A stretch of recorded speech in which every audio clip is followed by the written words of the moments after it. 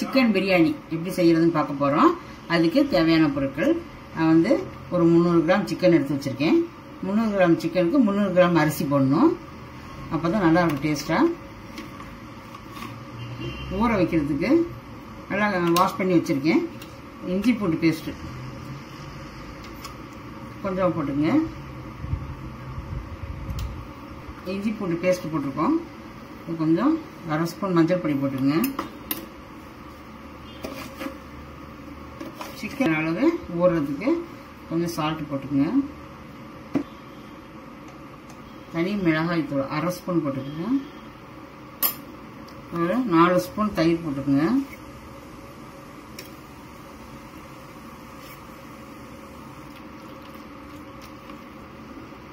இந்த மாதிரி பிசைஞ்சு அரை மணி நேரம் ஊற வச்சிடலாம்.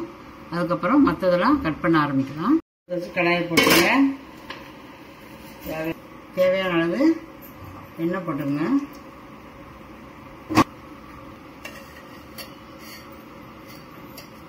ஒரு ஸ்பூன் நெய் போட்டுங்க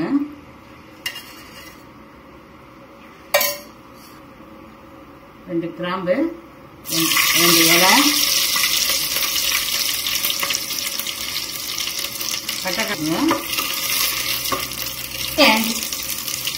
போடுங்க. பட்டை கிராம்பு சோம்பு போட்டு தாளிச்சுக்கணும். வெங்காயத்தை போட்டுக்கலாம். கட் பண்ணி வச்ச பெரிய வெங்காயம் ஒன்று நீங்கள் நல்லா ப்ரௌனாக வதக்கணுங்க. ரெண்டு பச்சை மிளகாய் இஞ்சிட்டு இந்த சிக்கன்லேயே போட்டு ஊற வச்சுருக்கோம். அதனால் இது கொஞ்சம் கம்மியாகவே சேர்த்துக்குங்க.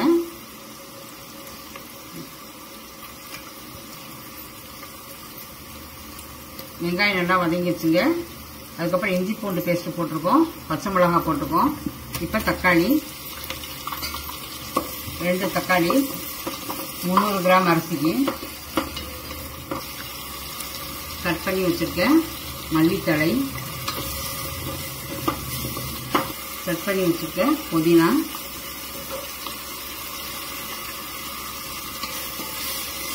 வெங்காயத்துக்கு தேவையான அளவு சால்ட்டு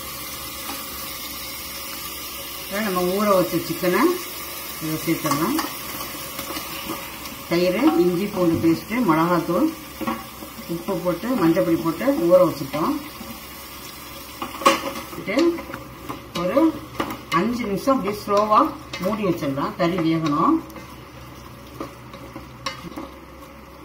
கொஞ்சம் நம்மளுக்கு லைட்டாக கலர் கிடைக்கிறதுக்காக லைட்டாக கலர் பொடி கொஞ்சம் போட்டுங்க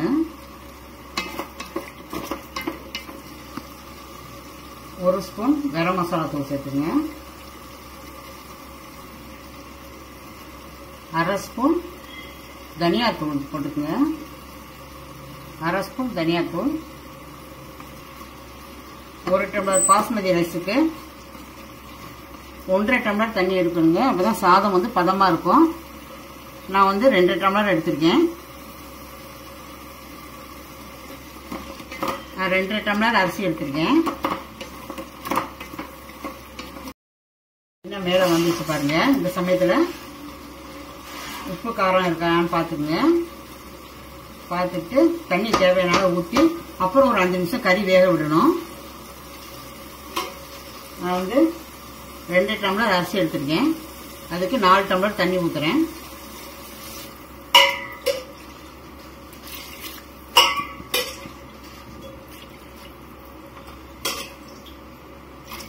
நாலு இந்த சமயத்தில் எலுமிச்சம்பழம் புளியிடுங்க ஒரு பாதி எலுமிச்சம்பழம் இதில் புளிஞ்சு விட்டுருங்க. கறி நல்லா வெந்துருச்சுங்க.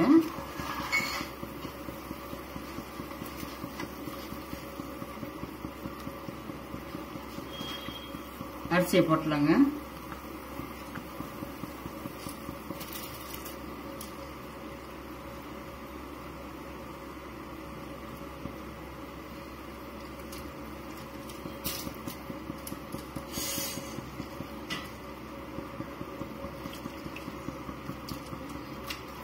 பாருங்க. அரிசியெல்லாம் போட்டாச்சு. இது அப்படியே கொஞ்ச நேரம் மூடி வைக்கலாம். அந்த பிரியாணி வந்து இந்த மாதிரி அரிசியும் தண்ணியும் சேர்ந்து இந்த மாதிரி இந்த பதத்துல இந்த பக்குவத்துல இருக்கணுங்க. இப்போ நம்ம வந்து இதை வந்து தம்ல போட போறோம். பழைய தோசைக்கல் மேல இதை வைக்க போறோம் ஒரு பதினஞ்சு நிமிஷம். யூஸ் பண்ணாத பழைய தோசைக்கல்ல இதில் வச்சிருங்க அடுப்பு மேல. அடுப்பை அடுப்பை எவ்வளோ ஸ்லோ பண்ண முடியுமோ அவ்வளோ ஸ்லோ பண்ணிடுங்க. இல்லைன்னா அடி பிடிச்சிரும். இந்த கல் சூட்டில் இந்த சாதம் வெந்துருங்க பதினஞ்சு நிமிஷத்துல.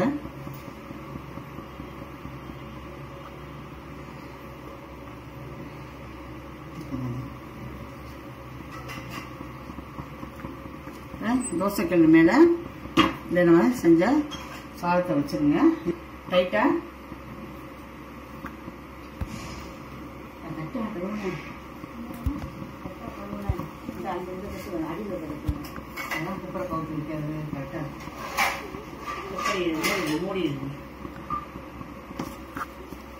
கடலை தோசைக்கல்ல போட்டாச்சுங்க. இப்போ இது நல்ல இது இது கரெக்டாக அளவு உங்க உங்களோட பாத்திரத்துக்கு தகுந்த மாதிரி ஒரு மூடி வச்சுங்க. நான் இதை வைக்கிறேன். வச்சு இது மேலே ஒரு வெயிட் வச்சிடணுங்க. நல்ல நல்ல வெயிட்டாக இருந்தால் வெளியில் ஆவிலாம் வெளியில் வராது. அதனால் நான் இதை வச்சிருவேன் எப்பொழுதுமே. ஒரு பதினஞ்சு அடுப்பை எவ்வளோ ஸ்லோ பண்ண முடியுமோ அவ்வளோ ஸ்லோவாக வச்சுக்கணும். ஒரு பதினஞ்சு நிமிஷம் கழிச்சு நம்ம திறந்து பார்த்தா போதும். ரெடி ஆயிடுச்சுங்க. இந்த பிளேட்டில் மா மாற்றி உங்கள்கிட்ட காட்டுறேங்க. எப்படி இருக்குன்னு பாருங்க. சிக்கன் பிரியாணி ரெடி ஆயிடுச்சுங்க. இந்த செய்முறை எப்படின்னு பார்த்தீங்க அது மாதிரி செஞ்சு பாருங்க. எப்படி இருக்குங்கிறத சொல்லுங்க.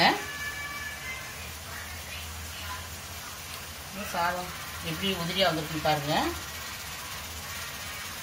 சாதம். இந்த மாதிரி நல்லா உதிரியாக இருக்கணும். உங்களுக்கு இந்த வீடியோ பிடிச்சிச்சுன்னா லைக் பண்ணுங்கள் ஷேர் பண்ணுங்கள் சப்ஸ்கிரைப் பண்ணுங்கள்